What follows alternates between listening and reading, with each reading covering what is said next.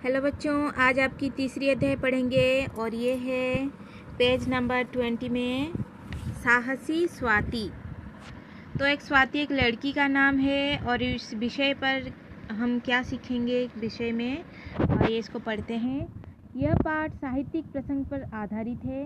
इसमें स्वाति नामक एक साहसी लड़की की कहानी है, जिसने अपने सहपाठिन को पानी में डूबने से बचाया। साहसी स्वाति की कहानी से हमें यह शिक्षा मिलती है कि कठिनाई के समय हिम्मत और सूझबूझ से काम लेना चाहिए। तो बच्चों, इस कहानी को पढ़कर हम यह शिक्षा इसमें है कि स्वाति नाम की ये लड़की, एक लड़की है जो कि बहुत ही हिम्मती है और बुद्धिमान है। तो इस विषय में उसने ऐसा क्या किया था? चलिए हम पढ़ते हैं। तो पाठशाला में एक नई बालिका ने प्रवेश लिया। अध्यापिका ने कक्षा में उसका परिचय कराया। यह स्वाति है। अब इसी कक्षा में पढ़ेगी। फिर वे स्वाति से बोली, स्वाति, तुम्हें इस कक्षा की लड़कियों से पता चल जाएगा कि वे कौन कौन से पाठ पढ़ चुकी हैं। तुम इनकी सहायता से उन पाठों को तैयार कर सकती हो। तो पाठशाला मतलब विद्यालय में एक नई लड़की आती है एडमिशन लेती है, प्रवेश मतलब एडमिशन लेना, ठीक है? तो प्रवेश लेती है वो तो अध्यापिका कक्षा के बाकी जो उसकी सहपाठिन हैं, उसके जो, साथ जो पढ़ती हैं, उनसे उसका परिचय करवाया। और उससे कहा कि अपनी सहपाठिन से जो वो पढ़ चुकी हैं, उसके बारे में पता कर ले, ठीक है?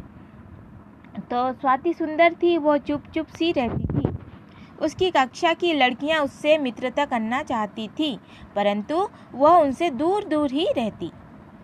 लड़कियों को लगा कि स्वाति बहुत घमंडी है, अतः उन्होंने उसकी ओर ध्यान देना छोड़ दिया। तो बच्चों स्वाति बहुत सुंदर थी, ठीक है, और चुपचाप ही रहती थी, क्योंकि वो नहीं आई थी। तो उसकी जो कक्षा की लड़कियाँ थी, उन्हें ऐसा लगने लगा कि वो बहुत घमंडी है। इसलिए वो बात नहीं करती है। तो उन्होंने भी उस पर ध्यान देना छोड़ दिया। एक दिन पाठशाला में बच्चों को पिकनिक पर ले जाने का निश्चय किया गया। पिकनिक का स्थान एक झील को चुना गया।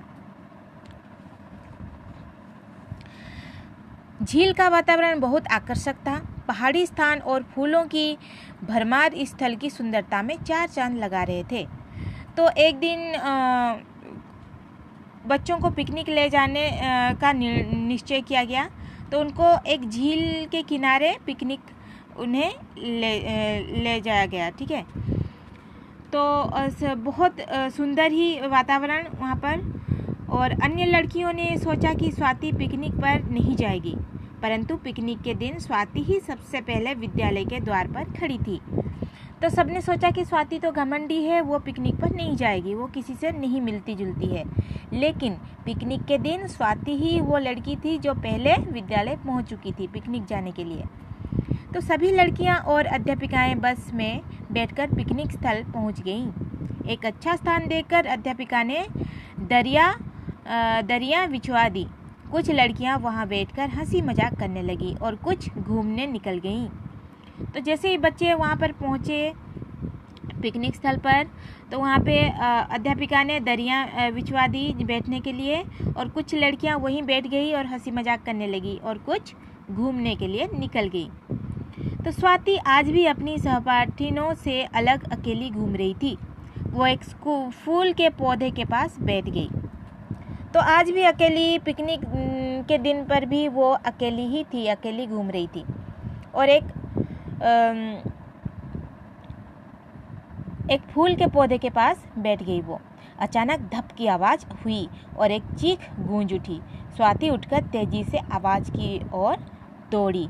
जैसे ही वो पौधे के पास बैठी फूल की तो उसे एक आवाज़ सुनाई दी धप करके, ठीक है? तो उसने वो आवाज़ सुनी और उस आवाज़ की ओर वो जाकर देखने लगी कि वो आवाज़ क्या है। झील के किनारे उसे एक उसे एक लाल कपड़ा दिखाई दिया।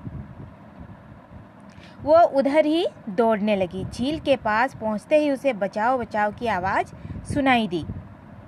तो जैसे उसने आवाज़ आवाज़ का जो उसने पीछा किया और गई तो देखा कि आ, कोई बचाओ बचाओ चिल्ला रहा है ठीक है? तो उसने देखा कि उसकी कक्षा की एक लड़की नीरू झील में गिर पड़ी है।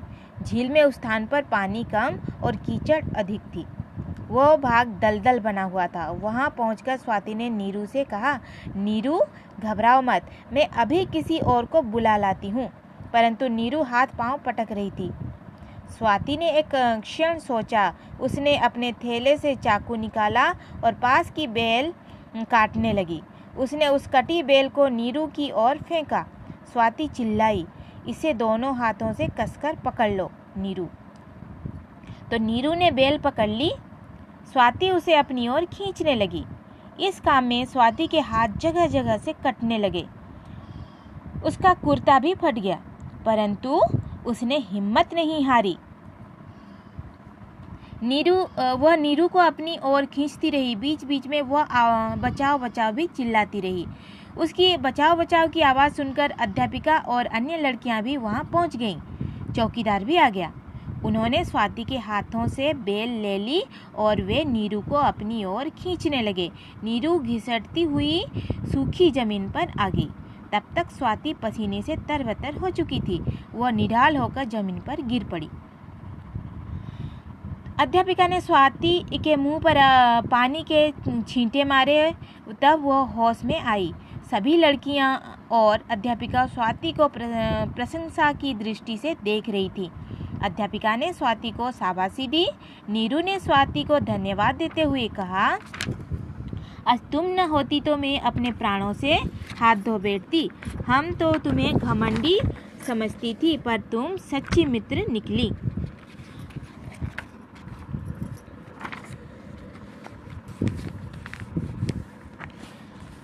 स्वाति ने शर्माते हुए कहा, नहीं, ऐसी बात नहीं है। मुझे किसी से बात करने में संकोच होता है। तभी एक लड़की बोली, बोल पड़ी, तब तब तो हम तुम्हें शर्मिली कहा करेंगी। सभी लड़कियाँ ठहाका मारकर हंस पड़ी। तो देखा बच्चों जो कि स्वाति थी, बहुत ही शर्मिली थी, इसलिए वो किसी से मिलती जुलती नहीं थी।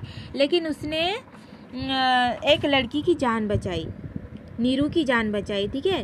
तो उसने हिम्मत दिखाई और अपनी सहपाठी नीरू की जान बचाई। और सब बच्चे उन्हें पता चल गया कि नीरू स्वाति असल में बहुत ही अच्छी लड़की है, लेकिन शर्माती है। इसीलिए सबने उसे शर्मिली कहकर बुलाने का निश्चय किया। ठीक है बच्चों? तो इस कहानी को आप पढ़ लीजिए और उसके बाद हम प्रश्न उत्तर पर चलेंगे। Thank you